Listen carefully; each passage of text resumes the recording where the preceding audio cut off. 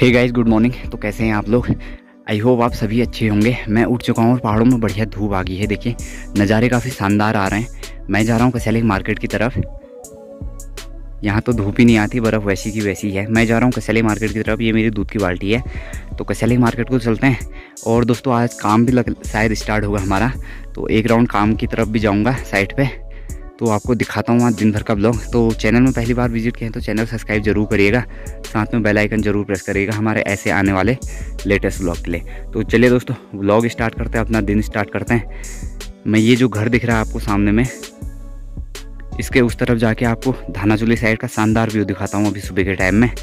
तो चलते हैं और अपना ब्लॉग स्टार्ट करते हैं। तो मैं आ चुका हूँ इस तरफ़ और इस तरफ़ से नज़ारे देखिए, सामने की तरफ़ काफ़ी बेहतरीन नज़ारे आप लोगों को देखने को मिलेंगे सुबह के टाइम में, क्योंकि सुबह के टाइम में बादल एक भी नहीं है देखिए आसमान में और बढ़िया धूप आई हुई है। नज़ारे काफ़ी शानदार आ रहे हैं सुबह के टाइम में। दिन में तो फिर बादल आ जाते हैं शाम शाम को फिर कोहरा आ जाता है तो ठंडा होता है। अभी काफ़ी मस्त व्यू, काफ़ी क्लीन व्यू देखने को मिल रहा है। ऐसे नज़ारे सिर्फ़ पहाड़ों में देखने को मिलते हैं।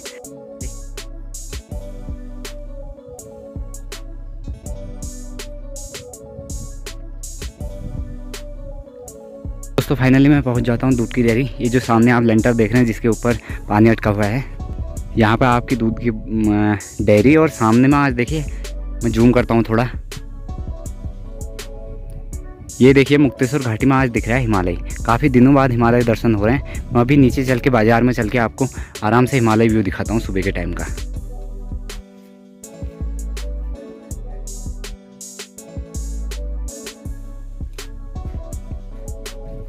दोस्तों, आज मुक्तेश्वर घाटी की तरफ़ देखने का मज़ा ही अलग आ रहा है। हिमालय दिख रहा है बढ़िया।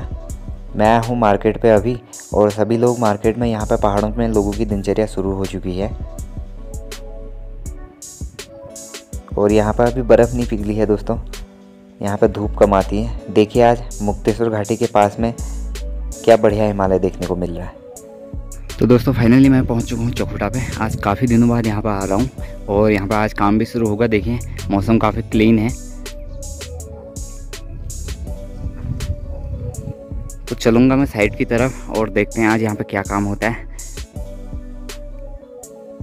बढ़िया व्यू आ रहा है आज यहाँ पे चौकुटा साइड पे। तो चलते हैं चौकुटा साइड पे था यहाँ पे पीछे रिटिनी वॉल तैयार करनी है हमने।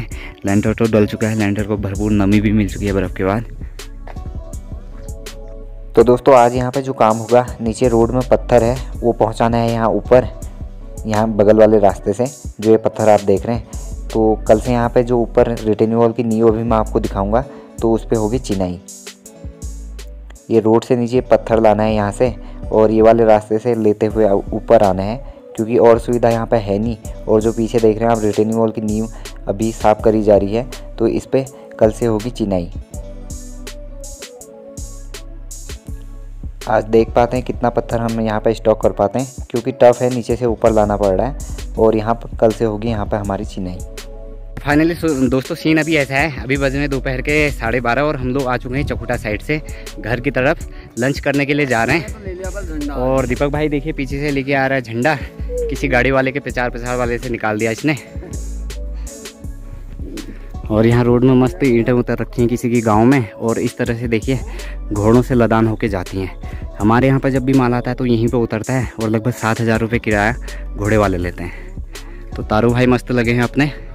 ईंटों को ढोलने में तो हम चलते हैं घर की तरफ़।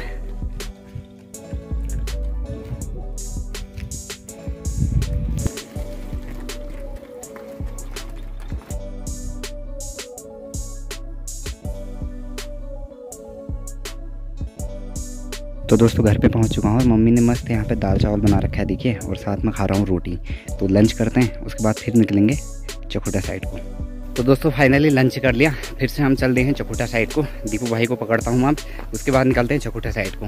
बाकी पेट भर गया अच्छा लगा। कुछ भी हो दोस्तों, माँ के हाथ का खाना माँ के हाथ का ही होता है। इसके आगे बड़े बड़े रेस्टोरेंट का खाना होटल्स का खाना, जो कुछ भी हो, वो सब फीका ही लगता है। तो बेहतरीन खाना मम्मी ने खिलाया।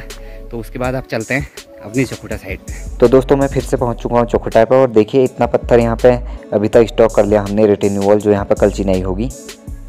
थोड़ा टफ है, रोड से लाना पड़ रहा है। घोड़े यहाँ पर आ नहीं सकते। आदमियों द्वारा, इंसानों द्वारा ही काम किया जा रहा है और इसी तरह पहाड़ों में हार्डवर्क करते हैं लोग। तो दोस्तों, अभी शाम के चार बजने वाले हैं। काम हमारा लगभग यहाँ पर जारी ही है। अभी एक घंटा और रह गया है काम के लिए, फिर हो जाएगी सभी की छुट्टी।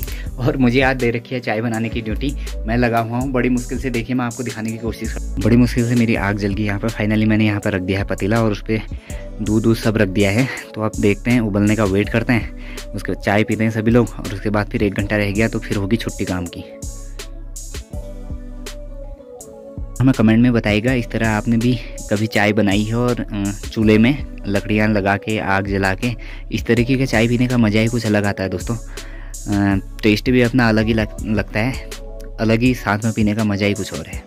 फाइनली दोस्तों अभी शाम के पाँच बज रहे हैं काम से छुट्टी हो चुकी है नज़ारे कुछ इस प्रकार आ रहे हैं अभी सामने की तरफ़ धूप देखिए धीरे धीरे ऊपर को जा रही है और जो आज यहाँ पर काम हुआ मैं अभी आपको दिखाता हूँ। जो नीचे आप रोड में पत्थर देख रहे हैं ये पत्थर वहाँ से रोड से जहाँ पर अभी मैं खड़ा हूँ, यहाँ पर लाया गया है। और वहाँ से सर में ला सर में ढोके पत्थर लाया गया है। देखिए, कैसे रास्ते से होते हुए लोग यहाँ पर आए हैं, वर्कर आए हैं। देखिए, एकदम डाउन है। ऐसे रास्ते में तो आप चल भी नहीं पाओगे आराम से। तो ऐसे में सिर में बोझा उठा के यहाँ पर काम हुआ है। काफ़ी हार्ड काम होता है दोस्तों। अब यहाँ पर ना घोड़े आ सकते हैं, ना कुछ और आ सकता है। आप खुद ही अनुमान लगा सकते हैं। तो इस प्रकार यहाँ पर आज काम हुआ और मैं दिखाता हूँ आपको ऊपर। यहाँ पर थोड़ी मिट्टी की सफ़ाई करी गई है ताकि मसाला बनाए, बनाया जाएगा। कल से रिटेनिंग वॉल के पीछे चिनाई करी जाएगी और इतना पत्थर, देखिए स्टॉक यहाँ पर आज किया गया है, नीचे से ऊपर जो आया हुआ है। और ये रही हमारे पीछे रिटेनिंग वॉल की नींव, जो बिल्कुल रेडी है कॉलम इस पर डाले हुए हैं। फिर पूरा इस पर डी करी हुई थी डीपीसी फिर करी जाएगी हल्की। तो पत्थर ये स्टॉक किया गया है नीचे से, जो मैंने अभी आपको दिखाया। तो इतना पत्थर स्टॉक हो गया, कल से यहाँ पे जो है रिटेनिंग वॉल देख रहे हैं, इसकी चिनाई यहाँ पे स्टार्ट हो जाएगी। तो ये था दिन भर का काम। आई होप आपको समझ आया होगा और हम लोगों का काम, पहाड़ी वर्करों का काम आप लोगों को कैसा लगा कमेंट में ज़रूर बताइएगा। काफ़ी मेहनत होती है पहाड़ों में और आदत रहती है पहाड़ों में लोगों को इस प्रकार काम करने की। किलोमीटरों तक तो मैंने आपको बताया है कि सिर में बोझा लेके पहाड़ी आदमी यहाँ पर चल सकता है। तो दोस्तों, छुट्टी हो चुकी है तो मैं भी निकलता हूँ घर की तरफ़ को। लगभग इतना पत्थर हमारा स्टॉक हुआ। तो ये है नज़ारे चकुटा साइड से अभी शाम के समय में। बेहतरीन व्यूज़ आ रहे हैं अभी। चाँद भी देखिए, आसमान में आ चुका है आपको अगर दिखाई दे रहा है तो। बेहतरीन नज़ारे। तो चलते हैं कसिया लेक की तरफ़ को। दोस्तों, हम चल रहे हैं घर की तरफ़ और ये हमारा देवी माता का मंदिर, चौखुटा गाँव पे। और सामने काफ़ी खूबसूरत सनसेट का नज़ारा अभी आ रहा है। हम लोग आँखों से तो देख पा रहे हैं अभी। बाकी तो फ़ोन में उतना आपको जितना भी समझ में आ रहा होगा। लेकिन कोहरा छा गया है सामने की तरफ़ पूरा। शाम शाम को यहाँ पर कोहरा आ जा रहा है और सुबह से अभी तक की बढ़िया धूप खिली हुई थी, अभी आ गया है कोहरा। और सामने हनुमान जी का मंदिर। काफ़ी बढ़िया नज़ारे आ रहे हैं तो चलते हैं कस्या लेक की तरफ़ को। और अगर आप लोगों को वीडियो पसंद आए तो वीडियो को लाइक ज़रूर कर देना दोस्तों।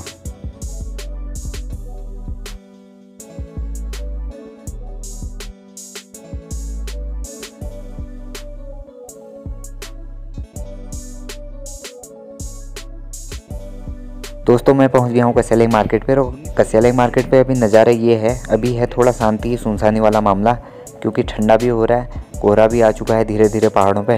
लोग भी अपने धीरे धीरे घरों को निकल रहे हैं तो हम भी निकलते हैं अपने घर की तरफ़। तो फाइनली दोस्तों, पहाड़ों में हो चुकी है शाम, जो अभी नज़ारे आ रहे हैं, क्या लाजवाब, शानदार एकदम।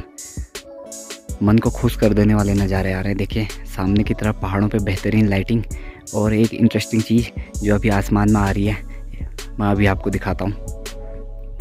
देखिए दोस्तों, खूबसूरत चाँद भी आसमान में अपनी चमक बिखेरे हुए है। शानदार नज़ारे अभी आ रहे हैं पहाड़ों पे। मैं तो महसूस कर पा रहा हूँ। आई होप मेरी वीडियो की मदद से आप भी महसूस कर पा रहे होंगे। कमेंट में ज़रूर शेयर करिएगा। तो मिलते हैं दोस्तों। ये था हमारा दिन भर का ब्लॉग। आप लोगों को कैसा लगा हमें कमेंट में ज़रूर बताइएगा। तो मिलते हैं अपने नेक्स्ट ब्लॉग में। तब तक के लिए जय हिंद और शुभ रात्रि